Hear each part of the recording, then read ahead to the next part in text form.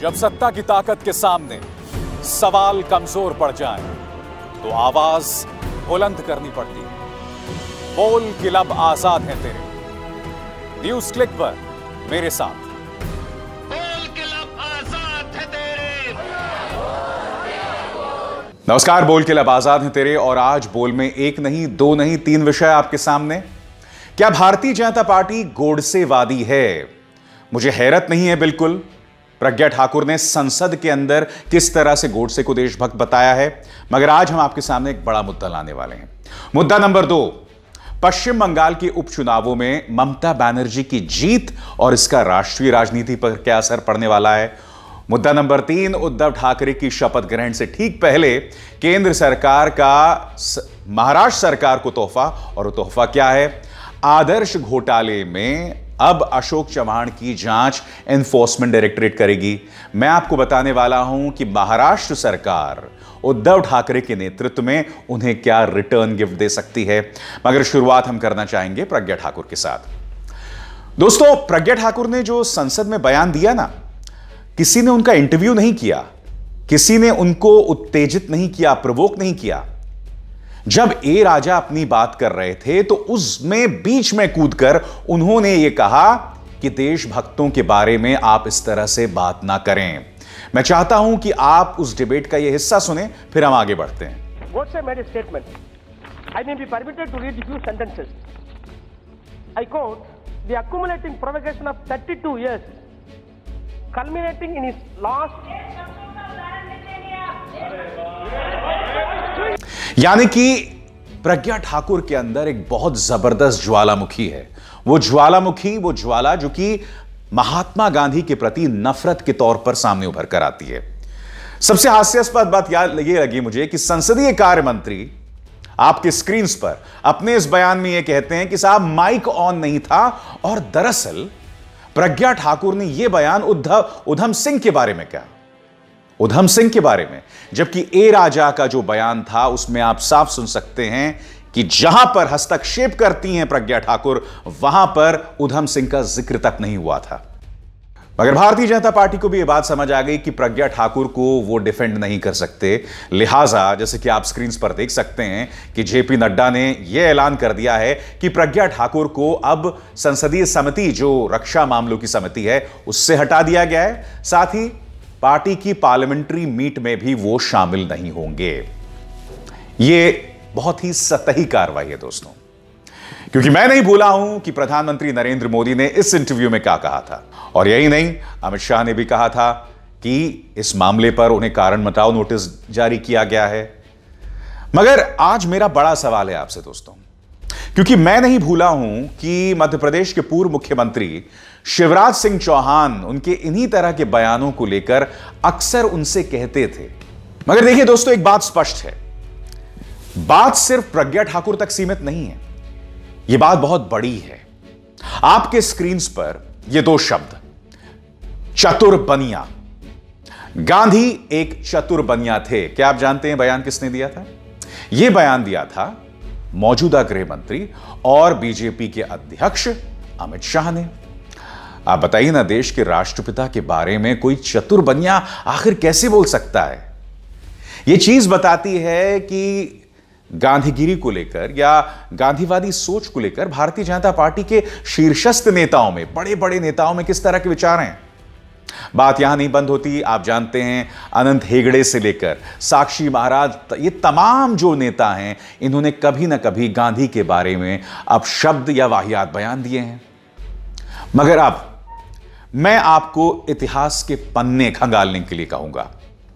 आज से कुछ दिनों पहले मैंने न्यूज़ चक्र किया था और उसमें मैंने आपको बताया था कि आरएसएस के अंदर गांधी के लिए सिर्फ़ अविश्वास नहीं है, बल्कि ज़बरदस्त नफरत है। और 1947 में, यानी कि 30 जनवरी 1948 जब महात्मा गांधी की हत्या हुई थी, उससे एक साल पहले दो साल पहले से ही लगातार आरएसएस उनके खिलाफ गंदा और घटिया प्रोपेगेंडा चला रहा था। आप ये दो मिनट की रिपोर्ट देखिए और उस दो मिनट की रिपोर्ट के बाद मैं आपको एक बहुत अहम बात बताने वाला हूँ। मैं आपको बताना चाहूँगा कि 24 अक्टूबर 1947 को दिल्ली पुलिस की फ़ाइल नंबर 138 में इंस्पेक्टर भगवान दास जैन लिखते हैं। According to the Sangh volunteers, the Muslim would quit India only when another movement for their total extermination, similar to the one which was started in Delhi some time back, would take place. They were waiting for the departure of Mahatma Gandhi from Delhi as they believed that so long as the Mahatma was in Delhi, they would not be able to precipitate their designs into action. यानी कि Delhi police की इस report में साफ़ तौर पर लिखा गया है कि जब तक महात्मा गांधी दिल्ली के अंदर हैं, मुसलमानों पर किसी तरह की कोई कार्रवाई ना की जाए। और वो जैसे ही दिल्ली छोड़ेंगे, उसके बाद अगर इस तरह की कोई घटनाएँ होती हैं तो मुसलमानों पर हमला किया जाएगा।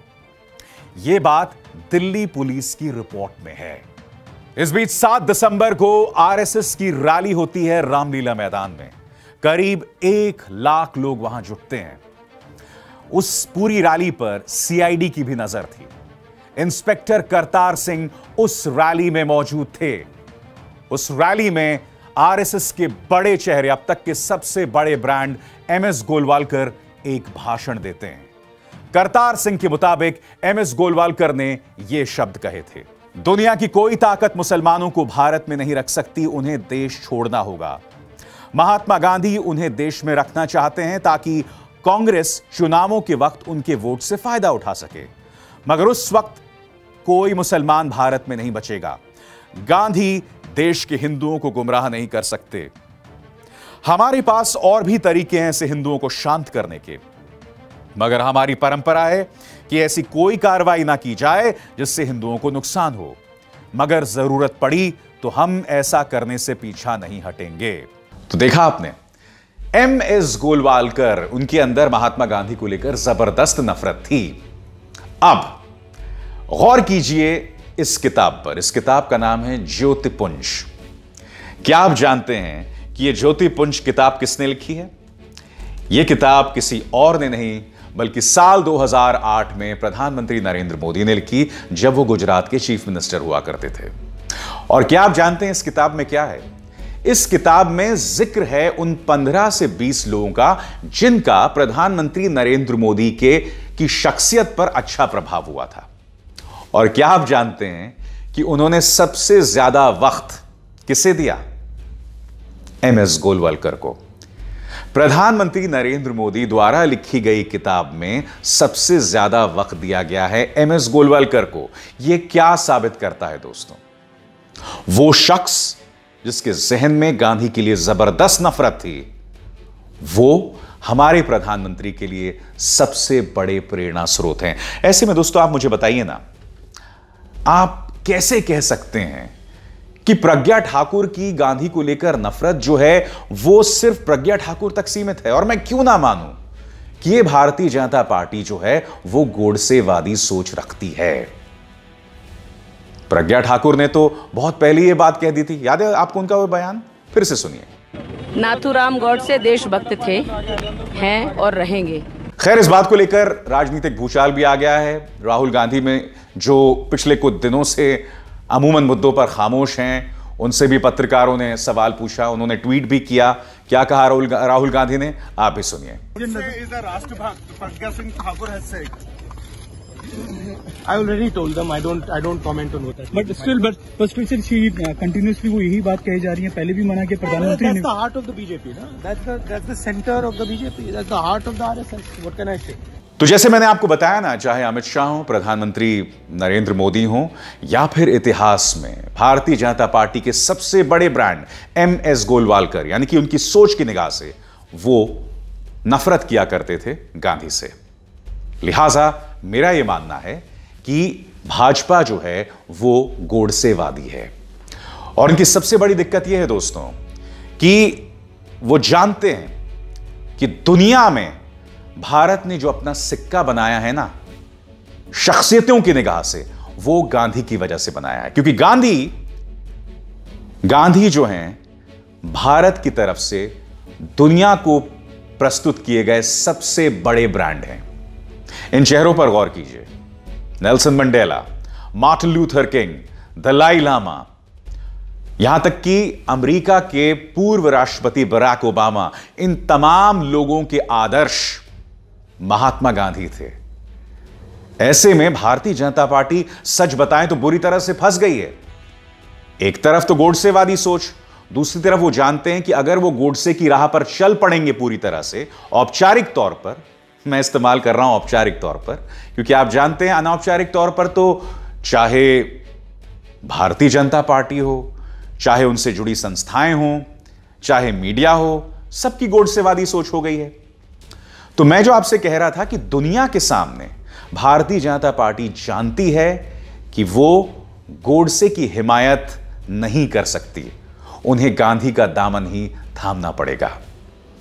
अब बोल के लब आज़ाद है तेरे में, हम बात करते हैं अपनी दूसरे विषय की। आज का दूसरा मुद्दा है, उद्धव ठाकरे की शपथ ग्रहण से ठीक पहले प्रवर्तन निदेशालय, यानी कि एनफोर्समेंट डायरेक्टोरेट सक्रिय हो गया है और वो अब आदर्श घोटाले की जाँच करेंगे। और यही नहीं, अशोक चौहान जो है, उन पर शिकंजा कसेगा। अशोक चौहान जो कि कांग्रेस के नेता हैं। दोस्तों, वाकई हास्यास्पद है। अब तो मुझे लगता है कि भारतीय जनता पार्टी को या इस सरकार को अपनी स्क्रिप्ट बदलनी पड़ेगी। जैसे ही कोई चुनाव आता है, या फिर विपक्ष के हाथ कोई सफलता लगती है, अचानक फिर आप enforcement directorate income tax CBI की तरफ़ रुख करते हैं। मगर यहाँ एक बहुत बड़ी दिक्कत है दोस्तों।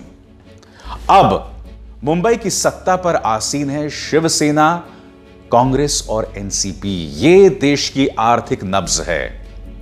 यहाँ पर कुछ ऐसे न्यूज़ चैनल्स का दफ्तर है, उनका केंद्र है जो कि भारतीय जनता पार्टी के पिछलग्गू हैं। यकीन मानिए, आने वाले दिन बहुत दिलचस्प होने वाले हैं। क्या होने वाला है? इस पर गौर कीजिएगा। हो सकता है जज लोया की रहस्यमय मौत की फिर से जाँच शुरू हो जाए। अनिल अंबानी के जो बिज़नेस इंटरेस्ट हैं, उनकी फिर से जाँच शुरू हो जाए। एक न्यूज़ चैनल के संपादक हैं उनकी जाँच शुरू हो जाए। किस बात को लेकर जाँच? क्योंकि एक व्यक्ति ने आत्महत्या की थी और उसने अपनी सुसाइड लेटर में एक न्यूज़ चैनल के संपादक का नाम लिया था। देवेंद्र फडणवीस सरकार ने तो कुछ नहीं किया, मगर यकीन मानिए, शिवसेना सरकार या ये जो सरकार उद्धव ठाकरे के नेतृत्व में है, वो खामोश नहीं रहने वाली है। इसलिए मैं आपसे कह रहा हूँ कि जब आप इस तरह का बेमानी प्रतिशोध अपने राजनीतिक विरोधियों पर शुरू करते हैं तो फिर आपको प्रतिक्रिया के लिए तैयार रहना चाहिए। और यही वजह है कि मैं आपसे कह रहा हूँ कि आने वाले दिन बहुत ही दिलचस्प होने वाले हैं सियासत की निगाह से। क्योंकि भारतीय जनता पार्टी इस वक्त ज़बरदस्त दबाव में है दोस्तों। सी वोटर का एक सर्वे बताया है और उसमें यह बात सामने उभर कर आई है कि भारतीय जनता पार्टी बेशक सिंगल लार्जेस्ट पार्टी बनकर आएगी, मगर अपने दम पर बहुमत हासिल नहीं कर रही है। अब जब सी वोटर इन्हें तीस सीटों के आसपास दे रहा है तो मान के चलिए कि आप इसे कम ही कर दीजिए। वो भी जबकि पहले चरण का मतदान नहीं हुआ है। इसका अर्थ क्या हुआ?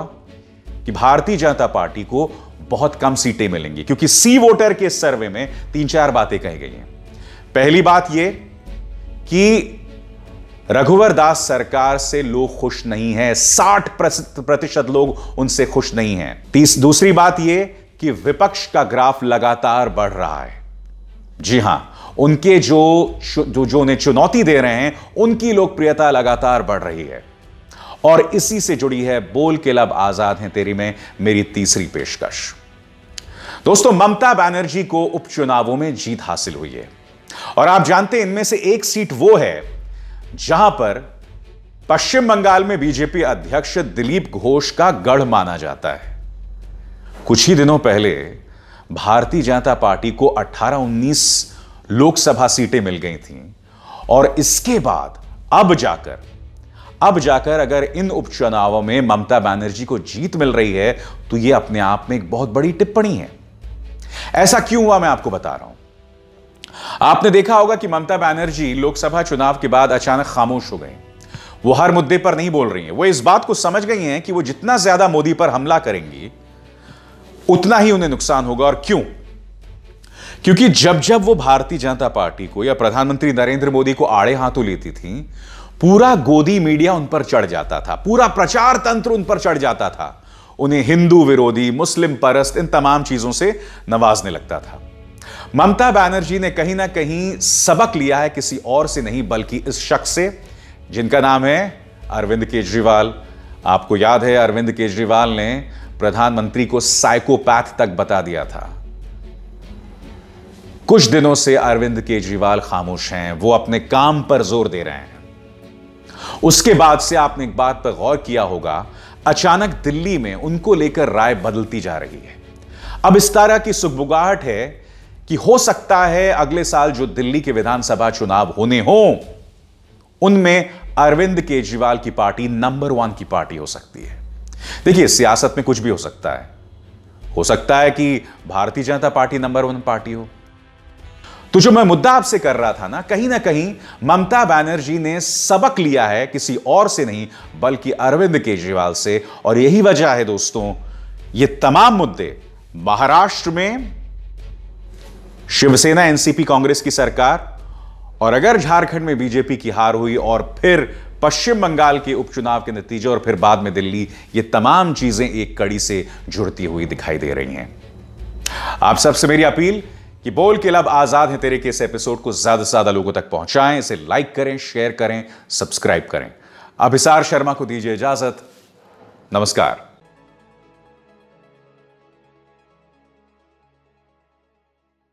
you